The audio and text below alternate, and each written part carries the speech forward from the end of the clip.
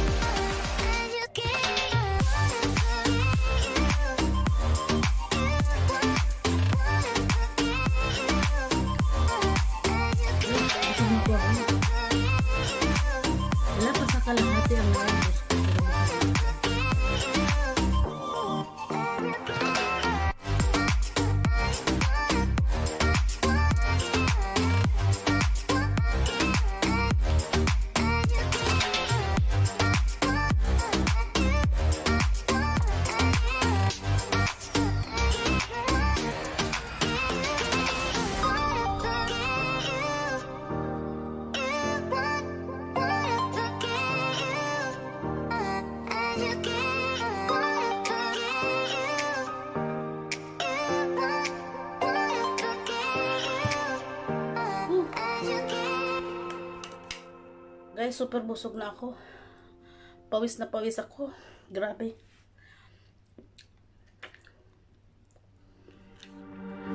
So, hindi ko naubos ang aking pagkain. May kalahati pa siya. Wala, ay hindi, lampas pa ng kalahati. Kunti lang nakain ko. Jesus. Ang anghang. Napakasarap ng, ng pagkain nila. 25 dirhams. Tapos 5 dirhams sa kanyang delivery charge. So, ang ginagawa ko ay hati kami nagsasabay, sasabay kami dito nila order At para, para hati kami sa delivery charge. So, ito, eh, pang-almusal na ako bukas.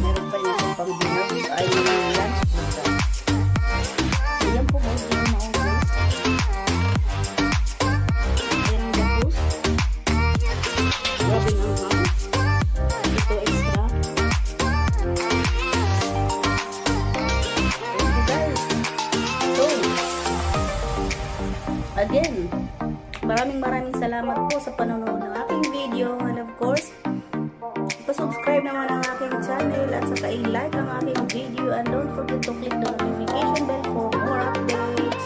Thank you. Bye-bye. Super busog.